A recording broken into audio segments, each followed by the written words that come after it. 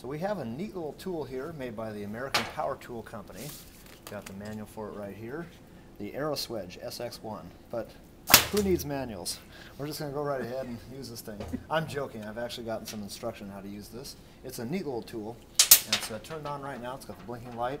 Tells me we're in the uh, tightening mode. It's set up for 450 degrees of rotation. We can actually change that. And 450 degrees being one and one quarter turns, which is Swagelok standard for this tube fitting size. We can actually go up and down with the number of degrees.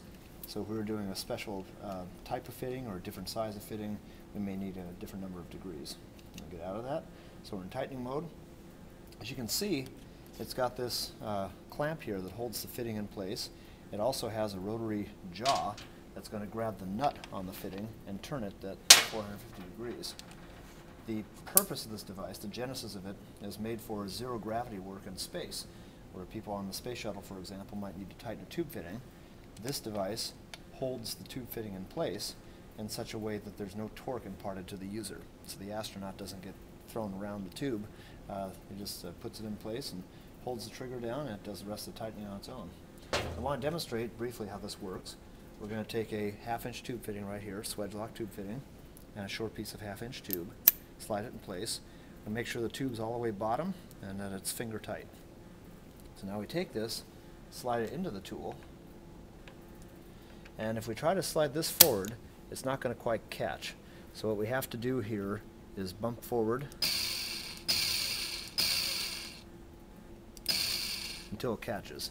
So now it's all set up and it's ready to do its 450 degrees of rotation. Now because it is programmed for that amount of rotation, all we have to do is hit the trigger button here and it does the rest.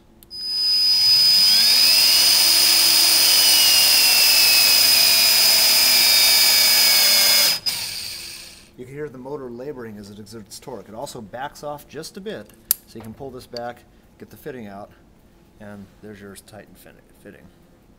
So it's properly done exactly the amount of rotation that Swagelok requires. So there's no need to gauge the fitting at this point. You know it's done properly. As you can see, my hand wasn't even on the tool, so there's no torque whatsoever imparted to the user. It's a neat, neat device. I can send this thing back to the home position by touching the trigger one more time. Of course, you don't want to do that with the, the fitting in there engaged, because of course it would loosen off the fitting. But uh, that brings it back to the home position, where now I could slide the fitting in and out like that. There are other attachments for it. We have adapters here that'll work for smaller tube fittings. For example, uh, one quarter inch instead of one half. We also have an adapter here that works as a tube cutter. So we can take this and actually cut a piece of tubing. I'll show you how to do that briefly. Slide this on.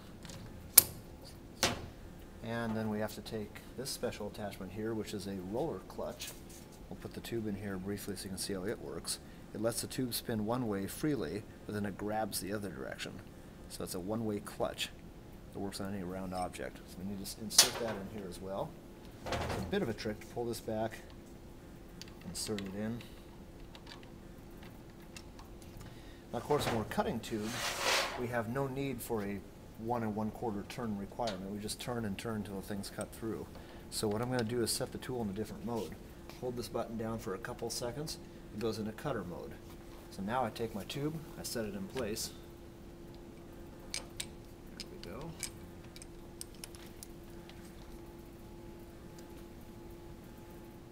Say that's where I want to have it cut. Bring that down gentle like that. Now when I touch the trigger, it's just going to keep on turning full torque, turning and turning and turning until I touch the trigger again, and it will be done.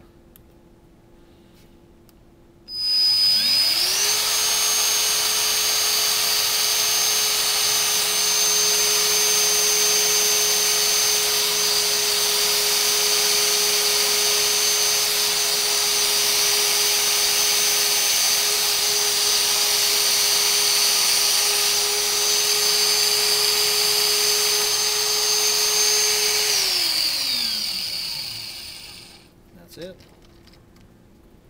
So at this point, take the rest of that off. Yep, so resting on that. You can slide the rest of the tubing out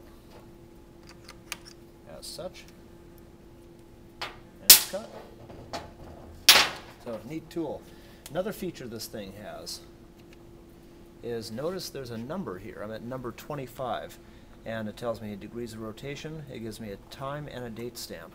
Every single action I do in this tool, it archives as memory. So that was action number 25. I've been playing with this thing this afternoon. I've done 25 different things when I got it. So that includes previous cuts and previous swedges and uh, backing off and going forward. So what it does, it maintains an audit trail of actions. So whoever the technician is that did the work with this, all of their actions are stored in memory, which can then be downloaded to a system uh, for archival. This is really important for aerospace. NASA loves it because they want to be able to tag every fitting that's been swedged and know when it was done, how many degrees rotation, and all that stuff. So if there's ever a question, uh, let's say you had a failed tube fitting, they can go back in the records and find out what exactly was done and maybe find out a reason for that failure.